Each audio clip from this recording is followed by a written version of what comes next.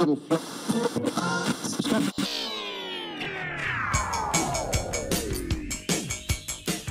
Good Wednesday morning, lads. I'm Moose Santos. And I'm Dan the Man Robinson, and this is your KWHS News. The Colorado Council on High School and College Relations will be here for a college fair today from 1 to 2 p.m. If you're registered for this fair, you should be getting a pass from the Counseling Center to attend this visit. We're almost through our October college visits, but we have November visits on the news today, so get ready to jot down some important dates. And remember, you do need a pass to attend these visits during advisory and lunch. Here's the lineup. Tomorrow, the reps from the University of Northern Colorado and Greeley will be here during advisory. And then on October 30th, the reps from Pikes Peak Community College have scheduled their visit with us. Seniors, listen up. If you want to save yourself some money when you apply for your favorite Colorado university or college, you will want to submit your highly qualified and completed application on October 30th. It is the inaugural Colorado Free College Application Day. Each institution will waive fees differently, so plan ahead and read the institution specific instructions as well as Colorado Free Application Day frequently asked questions. See Mr. Walker in the Counseling Center if you need more details. November college visits kick off on November 6th when the University of Wyoming reps will be here. Luther College will be here the next day on November 7th. On November 13th, the reps from Fort Hays State will be here, followed by the reps from UCCS on November 15th. Plan to spend some time after Thanksgiving with the Adams State Grizzlies. We're scheduled to visit with us on November 29th. If you miss any of these dates, check out the Counseling Center calendar or go to their website. Juniors and seniors. The ACT test date at WHS is on Saturday, but if you did not get yourself registered for this date and you need to take this test, go to act.org for other test sites, dates, costs, and registration information.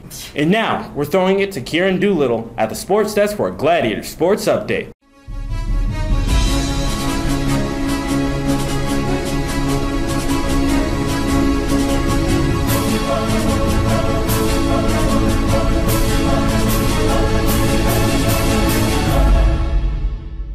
If it's October 24th, it must be Hump Day, Glads.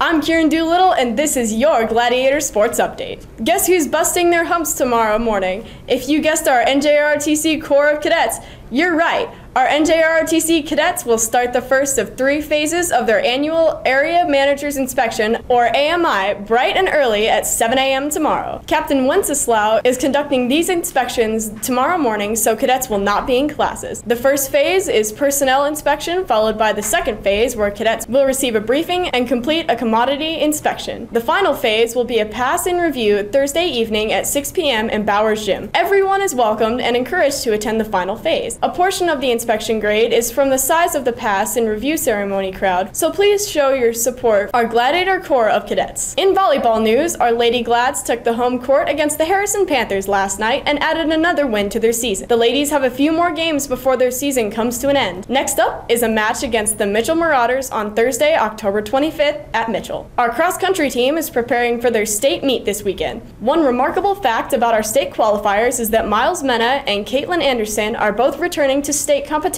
for their fourth consecutive years. Miles and Caitlin join an elite group of WHS runners who have achieved this feat. Way to go! Best of luck to all the state qualifiers as they run towards some strong finishes and medal placements. In football news, our Gladiators are on the road this Friday at Pueblo West for a game at 7 p.m. Come out and support your Gladiator football team and help them add another W to the books before the season ends. Our mighty Gladiator marching band will be perfecting its performance this week in preparation for state quarterfinals on November 2nd. We know our band will make us proud. In forensics news, the team is taking its talents to Pueblo West tomorrow afternoon for the Halloween Congress meet.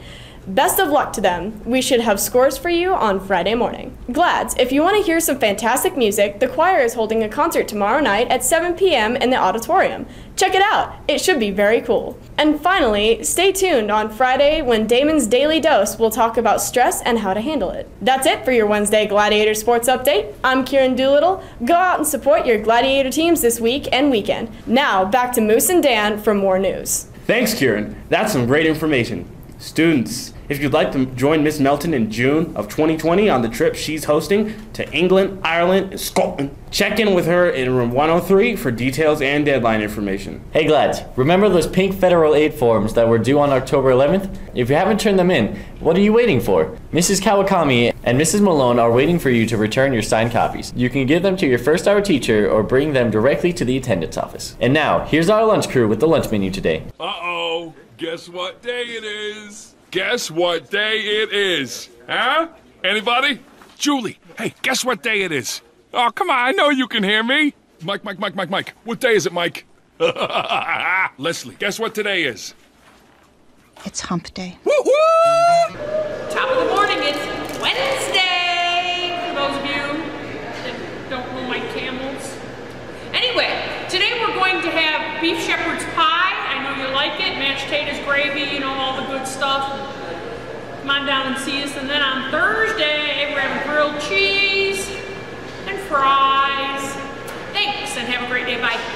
Thanks, Miss Betsy. Please pay your lunch charges in person or go online to add money to your account. Students, as the second quarter gets started, do you find yourself struggling with the class? Or maybe you need help writing better papers, or maybe, just maybe, you need to brush up your study skills for tests? If this sounds like you, then you should make an appointment with the NHS students who are offering tutoring sessions every Thursday in the library. Stop by the library to sign up for a time and pick up a pad. Finish the semester stronger than you started. See you then. Speaking of NHS, senior NHS members, you will have a meeting this Friday in the library at lunch. Please see Mrs. HK if you are unable to attend. Glad, you still have time to order your yearbook before the prices go up in November. You can order your yearbook in the business office or go to yearbookforever.com and order online. The cost is $55. Glads. If you need a sweet and scary snack today to top off your advisory time, stop by the lower commons where the senior council will be holding a bake sale. Most items are Halloween themed, so check them out and buy some treats. I know where I'll be tomorrow during advisory. Students, are you the king or queen of useless information? On Halloween, your skill set might win you a prize. Join the Freshman Council on Halloween in the small gym to kick off your Halloween fun on Wednesday, October 31st. It's only $1 to enter your three person team, and prizes will be awarded to the top three teams. And last but not least, the news you have all been waiting for. Our admin team has approved the wearing of costumes on Halloween. Cha-ching. But listen up. Before you show up in that skimpy nurse's outfit or scary Chucky mask, there are a few rules we have to follow. First, we cannot wear masks on our beautiful faces. Second, costumes must be dress code appropriate, so leave the skimpy outfit at home. And lastly, you must be able to participate in class activities like PE, shop classes, ROTC, and labs. You cannot use your costume as an excuse not to participate. That's it for our Wednesday edition, Glads. I'm Moose Santos. Best of luck to our Corps of Cadets on their AMI tomorrow. And I'm Dan the Man Robinson, and this is your KWHS News. Remember to come check out the pass and review tomorrow night at 6 p.m. in Bowers. Have a great rest of your week.